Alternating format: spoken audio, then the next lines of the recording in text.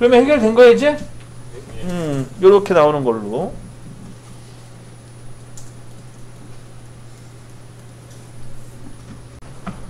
자, 우선 지금 했던 거 있죠? 요걸 다른 이름으로 저장하세요. 파일에 다른 이름으로 저장. 파일에 다른 이름으로 저장을 좀 해주시고요. 음, 다른 이름으로 저장을 해주세요. 오늘 날짜로 저장하시면 되겠죠. 오늘 날짜로 해서 저장 한번 해주시고. 그 파일 유형 10년도 그걸로 해야 되지 않습니까? 음, 그렇게 해서 괜찮고. 그것도 괜찮은 방법이에요. 자, 잠깐만 또, 또, 다시 한번 또 다른 이름으로 저장 한번 더 할 거예요. 자, 이번에 다른 이름을 저장할 때 우선 폴더를 하나 만드세요. 폴더. 폴더는 여기 있어요. 자, 여기 보세요. 헷갈리시는 분들은 요거, 여기 있어요. 요거 폴더. 요 폴더 눌러주시면은 여기 새로 폴더 하나 발생, 만들어지거든요. 그 폴더 하나 만들어, 누- 만들어 주시고 거기다가 금형 설계, 금형 설계 1이라고 적어주세요. 금형 설계 1. 금형 설계 1로 폴더를 하나 만들어 줍니다. 다 됐으면은 더블 클릭하셔가지고 안에다가 저장하시는데 저장 이름은 고정 측 설치판. 고정 측 설치판으로 저장하시면 돼요. 그래서 폴더 관리 좀 했어요. 어, 폴더 관리. 그래서 우리가 이제 CAD 자료를 만드는 데 있어서 금형 설계, 고정 측 설치판을 하나 만들었습니다. 그 이렇게 다 되셨으면은요 안에 내용물을 싹 지워주시는데 자 우선 도각이죠 도각. 도각은 하나만 남겨놓고요. 도각은 하나만 남겨놓고 안에 있는 내용물 싹 지우세요 이렇게. 지워주시고. 음, 그리고 요것도 지우세요? 요거 요거 필요 없어요 우리는. 이거 시험 볼 때나 쓰는 거예요. 이렇게만 이제 남겨놓으시면 됩니다. 여기다가 이제 진짜 그릴 거예요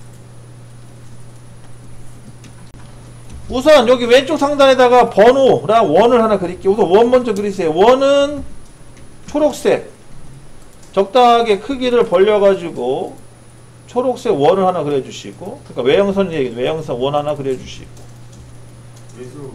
어, 이- 아, 값 없어 지금 잠깐 내가 한번 뽑아볼까? 어, 난한 16파이 정도 나오네 16파이 적당한 임의대로 적당하게 좀 그려주세요 원은. 요 나중에 뭐 수정 하나 있더라도. 그 다음 MT MT 명령을 이용해서 여기 옆에다가 옆에다 영역 잡아주시고 글자 크기는 대략 5 정도 하세요 5, 5 정도 하시고 자리 맞추기 MC. 가운데를 좀 맞춰주시고 그 다음에 숫자 1번. 자 1번으로 했는데 아니, 글자 크기 5로 했는데 5가 너무 작네요 그죠? 그럼 더 키워요 얘 5보다 크기 한 8 정도? 8 정도 키워주시고 글자 크기 8 글자 크기 8 정도에서 이렇게 자리 잡아주시면 됩니다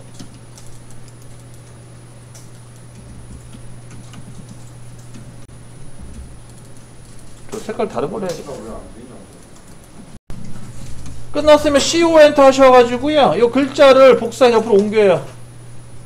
옮겨놓고 얘 더블 클릭한 다음에 이제 자리 맞추기를 다시 뭘로 잡, 바, 바꾸시냐면 얘는 이제 센터로 하시면 안 돼. 얘는 이제 매니 매니 왼쪽 이걸 바꿔주세요. 매니 왼쪽 그러니까 왼쪽 줄에 맞추게끔 첫 번째 거 잡아주세요.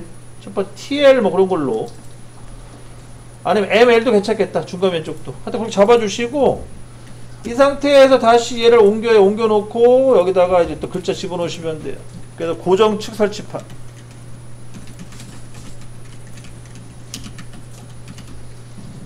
이제 드래그 싹 해가지고 오른쪽으로 이렇게 연장해서 이렇게 맞춰주시면 돼요. 이렇게 글자를 집어넣습니다. 저는 저는 안 적을 거야. 여러분들은 적으시고요. 그 다음에 이제 옆에 이제 표면 거치기 이제 그려볼 건데요. 표면 거치기는 그리는 방법이 여러 가지가 있는데 제일 쉬운 방법 알려드릴게요. 우선 폴리건. 자, 폴리건 기억나시죠? POL. 요에 어, POL 폴리건 명령을 집어넣으시고 다각형 그리기죠? 그 다음 면의 개수 나오나요? 여섯 개. 음, 6 잡아요. 면의 개수 6 엔터. 예수 6, 6 잡아요. 그 다음에 또 뭐 나와? 중심점 잡으러 가나? 중심점 아무데나 찍어 이메이저. 네. 그 다음에 잠깐 그 다음 난좀 봐야 돼. 외잡인지 내잡인지 좀 헷갈리는데 우선 내잡 먼저 할까요? 내잡? 내잡이면은 아이입니다. 있습니다. 자 여기 잠깐 보세요. 자 POL 6 엔터. 그 다음에 중심점 찍고 그 다음에 I 엔터. 어, 어, 이 방향이면 안 돼. 자, I, I, 아, 삼각했다. 저기, 영도 방향 있자. 직교 모드 키시고, 영도 방향으로 적당하게 크기 벌려서 찍으세요, 이렇게. 네. 영도 방향으로 가세요. 3시 방향. 어, 어떻게 할지 대충 알 거. 어, 그래요? 멋있네. 얘는 초록색으로 하세요, 초록색. 그러니까 여러분들 같은 경우 초록색, 저는 파란색. 자, 다 됐죠? 다 됐으면 여기 보세요. 자, 대각선 하나 거주시고, 이렇게. 그 다음에 수평선 거주시면 여기 모양 나오죠? 어, 이런 식으로 이제 만드시면 돼요. 응? 음, 여기, 여기 대각선 하나 거주고, 수평선 하나 거주고. 음. 다 됐으면 폭발시키시고요. 어, 이렇게 지워주시면 되겠어요. 그럼 나왔죠? 이게 표면 거치기예요.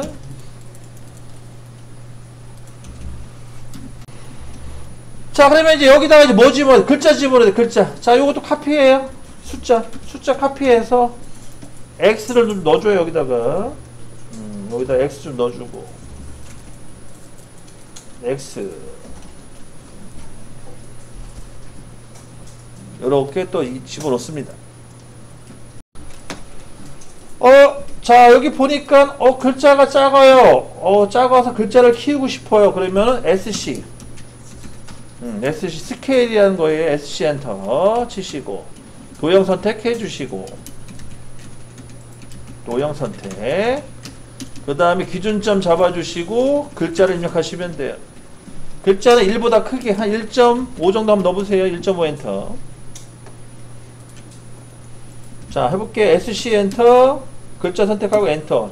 기준점 찍고 1.5 엔터. 글자 커졌죠? 자 그 상태에서 다시 조절 move 살짝 옮겨주시면 돼요. 이렇게 정리를 합니다. 아이고 저도 잘 안되네. 자 이거 잘 안되면은요 여기 보세요. 어 교수님 이거 이동이 잘 안돼요 특징점 때문에. 그럴 때는 이 기준점을 여기 잡지 마시고 바깥쪽을 잡으세요. 바깥쪽 잡고 이렇게 움직이세요 이런 식으로 이렇게 움직이면 돼요. 기준점을 바깥쪽에 잡으세요. 이렇게 해서 제어하시면 됩니다. 또 SC 엔터. 글자와 삼각형 다 잡아주시고 엔터. 가운데 중간쯤 잡아주시고 0.7 이렇게 줄어들 거예요. 그래서 옆에 글자랑 비교해 보시고 어 좀 크다 싶으면 또 줄이세요. 한 번 더 0.7 음, 됐죠? 그 상태에서 옮겨요 이제 옮겨가지고 여기다 붙여주시면 돼요. 그러면 다 된 겁니다. 여기 표면 걸치기 표시. 그 다음에 옆에 이제 카피트에 CO enter. CO enter 떠가지고 여기 옆으로 하나 더 복사해 주시고 이렇게. 복사. 그 다음 얘는 Y로 바꿔주시고 Y. 이렇게 해서 정리하시면 되겠어요. X와 Y 그 다음에 옆에 이제 뭐 들어가요? 양가로 들어가죠, 양가로. 어, 양가로 집어넣으셔야 돼요. 양가로 같은 경우에는요, 요 글자를 하나 복사를 해서 빼온 다음에 얘를 가지고 양가로로 만들어 주세요. 이렇게. 간격 벌려가지고 양가로. 마찬가지 글자가 야- 양가로가 작다 싶으면은 키우시면 돼, 스케일로. 이렇게 해서 이렇게 옮기시면 되는 거죠. 이런 식으로. 글자를 복사해서 양가로로 만들어 주세요. 이런 식으로. 그럼 되는 겁니다. 그리고 사이즈가 너무 작다 싶으면은 키워 주시고 스케일로 키우든가 아니면 이거 글자를 키우셔도 될 것 같은데? 근데 이렇게 안 넘어가냐? 이렇게. 5로. 5로. 어. 7. 7 정도 키우려 딱 적당하네요.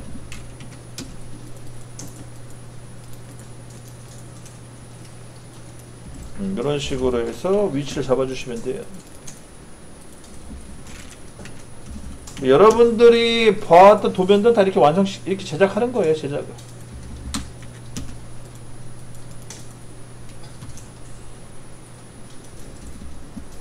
음, 이렇게 정리를 합니다 잠깐만 너무 간도 너무 튀었나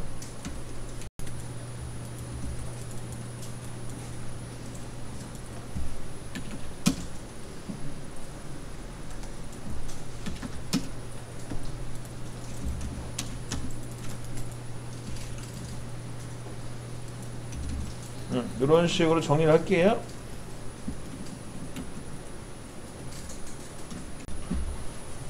자, 우리가 이제 탭을 배워야 돼, 탭. 자, 탭은요, 도면상에 표기하는 건 되게 간단해요. 간단한데, 여러분들이 이탭 가공에 대한 기본 개념을 좀 알고 계셔야 되기 때문에, 거기에 대한 설명 좀 드릴게요. 우선 우리가 필요한 탭이 M6이에요. 자, M6 보이시죠? 화면에?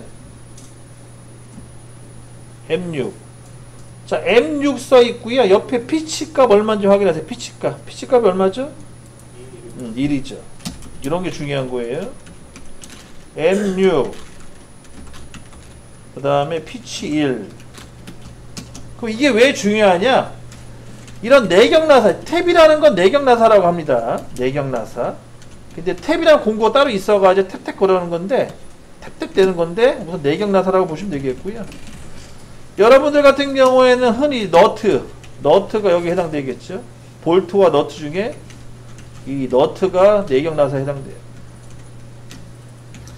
그러면 내경나사 같은 경우에는 뭐를 해야 되냐? 우선 드릴 구멍을 뚫어야 되는데 드릴 구멍으로 구멍을 뚫어야 돼요. 드릴이랑 공구로 구멍을 뚫어야 된다. 그럼 몇 파이로 뚫을 것이냐? 그게 제일 중요한 거죠. 몇 파이. 직경값. 그럼 얘는 공식이 있어요. 공식이 뭐냐? m-p. m-p가 드릴 직경이에요. 그러면 나와 있죠. m. m이 얼마였어요? 6. 그 다음 피치가 얼마예요? 1. 그러므로 5가 드릴 직경이 되는 거예요. 이게 제일 작은 구멍이에요. 5라는 게. 그래서 거기 도면을 보시게 되면 여러분 도면을 보시면 좀 티가 안 나는데 그 평면도에 보시게 되면 2-M6 평면도를 보시게 되면 원이 두 개가 있을 거예요. 하나는 원호, 하나는 원. 그 작은 원이 이, M, 이 파이 5에 해당되다 보시면 돼요. 파이 5. 그래서 이미지로 설명을 하게 되면 이렇게 생겼거든요. 탭이라는 게 원이 그려져 있고 이게 드릴 구멍이에요. 그리고 나사는 바깥쪽으로 이렇게 3분의 1 정도만. 이런 식으로. 이렇게 표기를 합니다. 그게 탭을 도면으로 표기할 때 쓰는 방식이. 그럼 이 작은 구멍이 몇 파이라고요? 작은 구멍이 파이 5가 되겠죠, 그죠? 그 다음에 이 큰 원호는 파이가 몇 파이가 되는 거예요? 6파이가 되는 거예요. 그래서 파이 5, 파이 6 이렇게 원 두 개를 그려가지고 탭을 묘사합니다. 자, 요걸 이제 진행해 볼게요. 자, 가봅시다. 우선 외형선 그려주시고요. 아, 외형선이 아니고 layer. layer를 외형선으로 잡아주시고요. 그 다음 REC 명령어 이용해서 한 점 찍고 두 점 골뱅이 200, 150 이렇게 해서 사각형 하나 그려주시고 그 다음에 가운데 중간점을 이용해서 원을 그리셔야겠죠. 원은 40이랑 100파이. 두 개의 원을 그려주시면 되겠고 40파이 그 다음 100파이. 음, 여기 원 두 개 그려주시면 되겠고 얘는 중심선. 그 다음 LEN DE 자 LEN DE 하시고요. 거리값 5 정도에서 선을. 5mm만큼. 이렇게 해서 전체 영역을 잡아줍니다 여기서 이제 이쪽에 어, 76, 76 나누기 2 하면은 38인가요? 38만큼 간격을 벌리시면 돼요. 계산기를 이용해 가지고 어, 계산기 있구나. 76 나누기 2 하면 38이죠. 옵셋 38에 하셔가지고 위로 한번 아래로 한번 이렇게 그려주시면 이제 위치 다 잡힌 거예요. 여기다가 탭을 그려보도록 하겠습니다. 자, 탭은 아까 얘기한 대로 우선 작은 원, 몇 파이? 5파이. 그 다음에 큰원 몇 파이? 6파이를 그리시면 돼요. 그래서 5파이와 6파이짜리 원을 그리시면 되는 겁니다. 이렇게 이렇게 묘사해 주시고 자 우선 저기 원 기준으로 트림을 잘라요. 우선 이 카피 좀 뜰게요. CO CO 카피 좀 떠가지고 이렇게 바깥으로 빼주시고 요거 트림으로 해서 TR로 해가지고 다 잘라버려 이렇게. 잘라버리시고.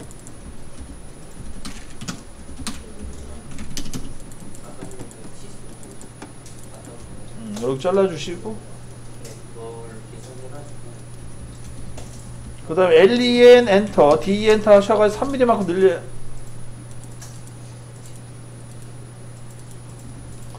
자 3mm만큼 늘렸는데 불구하고 점이 안 보이죠 그죠? 그러면 컨트롤 1번 눌러가지고 컨트롤 1번 이거 축척 조절 좀 하세요. 한 0.7로 줄여보세요 축척. 선종류 축척을 0.7로. 이렇게 점이 나와줘야 됩니다.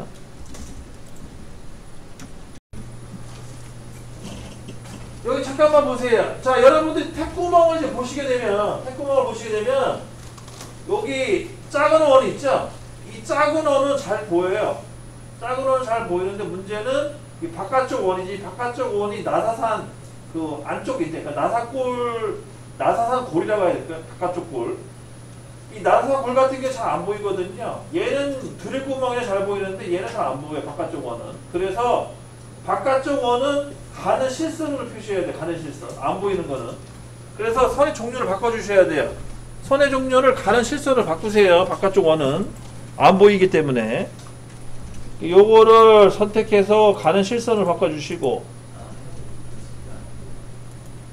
얘는 보이기 때문에 외형선을 표시하는데 얘는 안 보이기 때문에 가는 실선을 하는 거예요.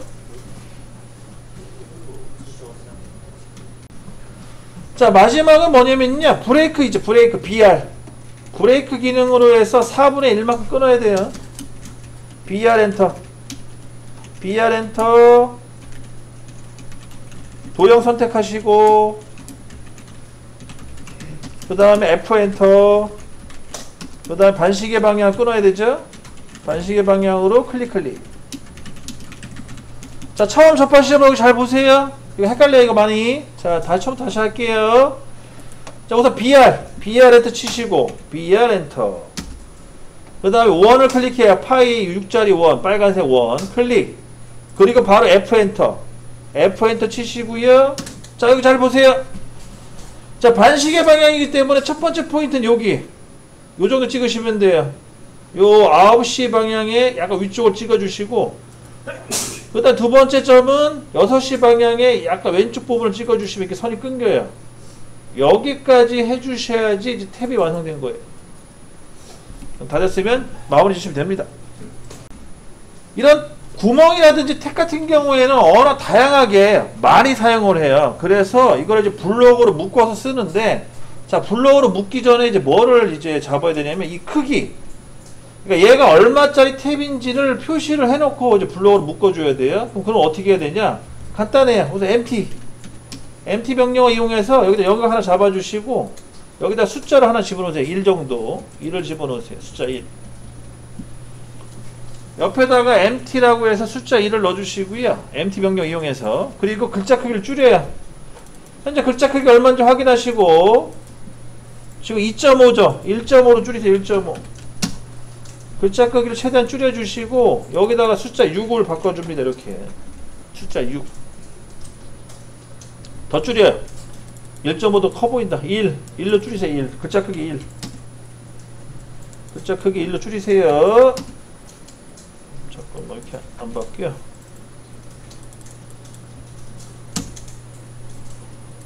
응? 여러분 1 입력돼요? 안 되죠. 1.0으로 해서 1.0. 1.0으로 해야지 입력되네요. 1.0. 근데 얘를 이제 안에 집어넣으세요, 이렇게. 이렇게까지 할 거예요. 6. 이게 이제 M6이라는 소리죠. 아니면 앞에다가 M 또 붙일까요? M 안 붙이면 헷갈릴 것 같아. M6. 이런 식으로 표시를 좀 해주세요. 자, 글자 크기 1mm를 하시는데 1이 입력이 안 돼요. 그러면 1.0으로 입력해서 1.0. 이렇게 만들어주시면 됩니다. 자, 끝나셨으면은요, 저장을 하실 건데, 자, 이거 영역을 저장할 거예요. 그거 어떻게 저장하시냐? WB 입력하세요. WB. WB는요, 어떤 그 도면에서도 다 불러와 쓸 수 있어요.